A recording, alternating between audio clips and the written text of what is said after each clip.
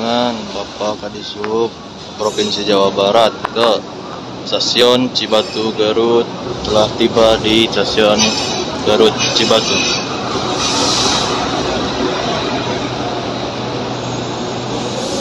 Ya, rombongan Kepala Dinas Perhubungan Provinsi Jawa Barat sudah berada di stasiun Cibatu bersama jajarannya. Sini saya memantau dengan kedatangan Wah Kepala Dinas Kabupaten Garut.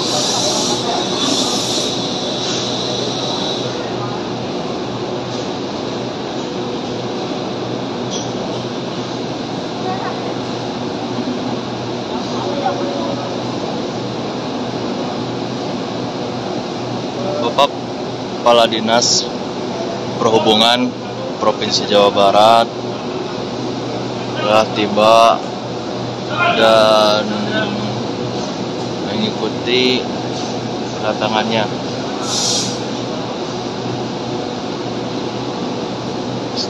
serta Kepala Daop 2 Bandung dan jajarannya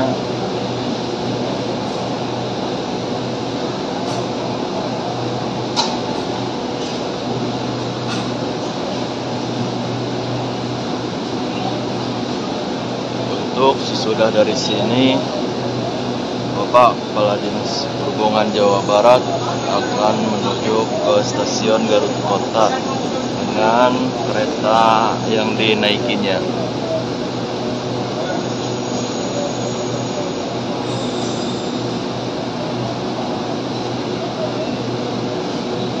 Bersama Gubernur Jawa Barat Bapak Ridwan Kamil sudah berada di stasiun Cibatu dan sudah turun.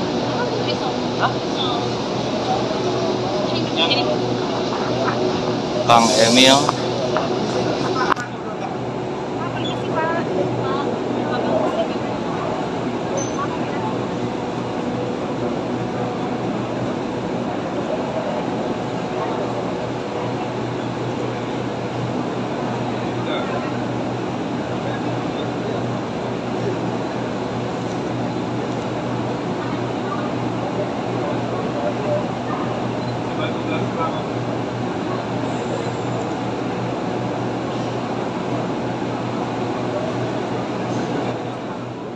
dikaji masalah kapan dibangun nanti kita tunggu takdir tapi saya mau ikhtiar sebagai pemimpin. Pokoknya mimpinya semua jalur yang visible termasuk jalur lama tadi ke arah Jatinangor, Cicalengka, Ciwidey itu harus beres. Karena ini buktinya kalau satu udah berhasil. Kan tadi saya lihat di Pasir Jengkol nama-nama warga yang berkorban ya untuk menyerahkan tanah bangunan kan dipasang tuh. Luar biasa makanya saya ucapkan terima kasih. Karena mengorbankan eh, tempatnya untuk kepentingan masyarakat juga. Oke, yang, ya yang kedua hanya dua poin aja. Yang kedua saya turut prihatin ya atas eh, berita eh, terkait wali kota Bekasi oleh KPK kami sedang telusuri berita selengkapnya. Saya belum memahami eh, 100% eh, situasi hukumnya tapi intinya turut prihatin. Kedua, kami akan memastikan pelayanan publik di Kota Bekasi tidak terganggu. Eh, Wakil Wali Kota juga sudah eh, kami kontak untuk memastikan pelayanan.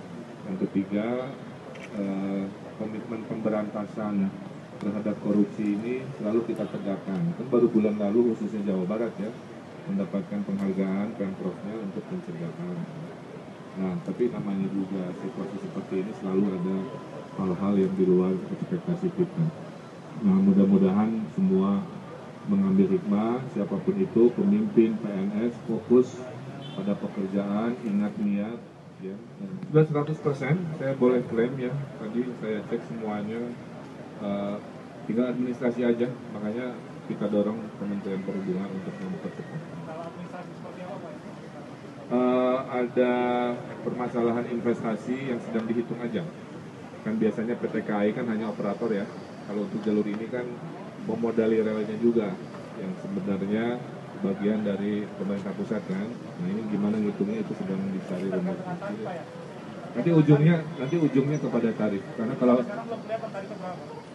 ah murah paling juga antar dari antar Garutnya 4 ribuan ya, kemudian ke Bandung juga mu- mungkin di bawah, di bawah 10 ribuan kan begitu ke Jakarta hanya 40 ribu bandingkan dengan kerepotan-kerepotan darat, naik tol apa sebagainya. Jadi sangat luar biasa. Bolanya ada di Pak Menteri, makanya hari ini saya inspeksi nanti malam saya WA saya telepon ya, untuk memastikan warga Jawa. Barat. harapan Bapak kapan bisa dibuka Pak? Eh, harapan saya bulan lalu, ya.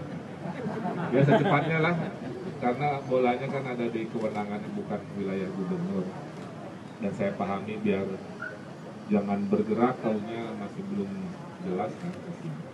Itu ya saya kira ya. Pak, yang Jabar Selatan. Dan Jabar Selatan masih kajian. Tadi Pak Dirut menerima aspirasi dari kami masyarakat Jawa Barat eh, ke Dijen Kereta Api juga akan dikaji. Masalah apa nih? Oh, masalah